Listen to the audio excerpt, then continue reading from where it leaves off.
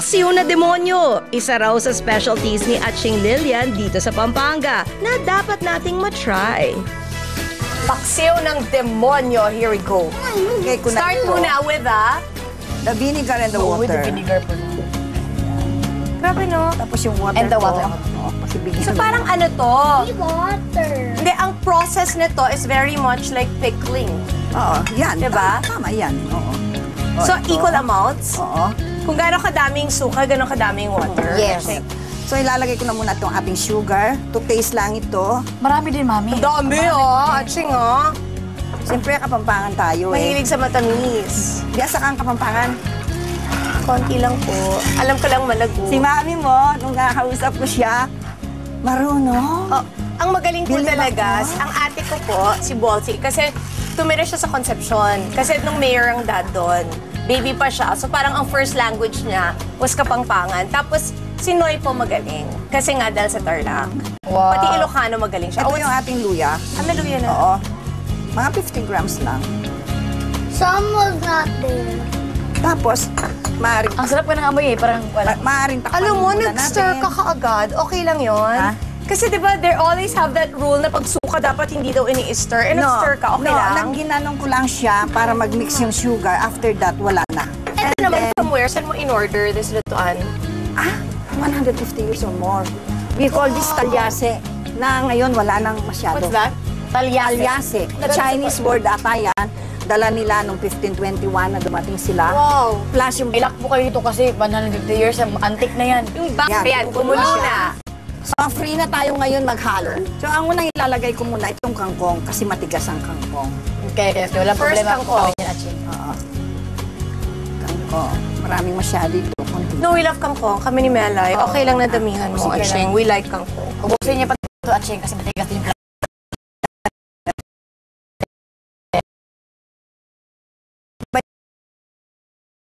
lang yung, yung, kung gusto mo maraming sabaw siya, mamaya tito. Not so. Tapos lagyan natin ng konting asin. Asin, okay. Pero sa harap yung asin, di ba? Ah, ito. oo. Pero dyan, dyan, meron dyan. Blessed yan. Na-bless yan. Bless ba rin, Mama Mary? Sino nag-bless? Yung father, yung pare. Bakit binibless yung salt? Para daw maging healthy ka, maging... At saka for rich of money din. Yes. At yung binabala mo na ata No, no, it's ah. true. This is Ano? a, this is blessed salt. Ah, I guys, I learned this from my mom. God talaga. Wala namang pong tubig. Kung ano, ano kulang. Delicious. Di, ano pa lalagdag ko? Ewan ko sa'yo eh. Parang mapait po. eh, siyempre, mapait pa yan, hindi pa luto. Oo, oh, chapati na doon yun. No, I mean, Parang gusto ko sugar. Dagdagan pa ng suga. Suka. Iwan ko kabis kilas. Pero tama na, tama na din yung sugar sa akin. Tama na. Okay na akong problema. Tama na lang yan. Sugar, okay na. Okay na. Asin, okay na. Okay na po. Okay. So, So, asin, then, kulang ko ng asin. Ako nga favorite Asin, ko yung konti asim lang eh. Parang ay, hindi ko ma-picture na lalo. Mama, mama, mama, mama. sige, dagdagan natin ng konti. Yung kumuha ka pa ng konting asin. That's Ala, uy. Bakit mo sinabi sa kanya dagdagan niya yung ano? Kunti Parang lang. masarap kasi Miss Chrissy. Kulang Na kasi. mas maasim pa? Oo. Ito, ito. It's at my asin. Si Miss Chrissy naman nasabi, bakit mo siya parang na, nasa, nasa malayo sa... nasa malayo lang si Atching. Oo. Bakit mo sinabi sa kanya? Yes, now. Di ang palaya. Yan ang So yun, palaya. yung lumang cut pa yun, at Cheng? Oo. Oo. Kinakain talaga ng buo. Malalaki. Kasi nagkakamay yung mga tao nun eh. So, They use their hands. easier pag malaki siya. Una, kukunin isa. So ito na, eggplant. Maliliit eh. Okay lang, I like the smaller ones talaga. Oo, sarap yan. May. Alas! Yes. Para malutong. Ay, ako gusto ko lutong-lutong di naman yung taste. Pero Tapos okay, yun tatakpan ang natin style. muna. And then, ilang minutes ito? Mga 2 to 3 minutes pa. Lalagay ko na ito. So bago ka pa, dati pala, bago ka makakain, ang hirap na pinagdadaanan mo. no? Question, at Cheng, hindi mo gi- hinihiwa in half? Masyadong manghang Ako gusto ko kasi. Ah, gusto mo? Okay, mga dalawa lang, okay lang.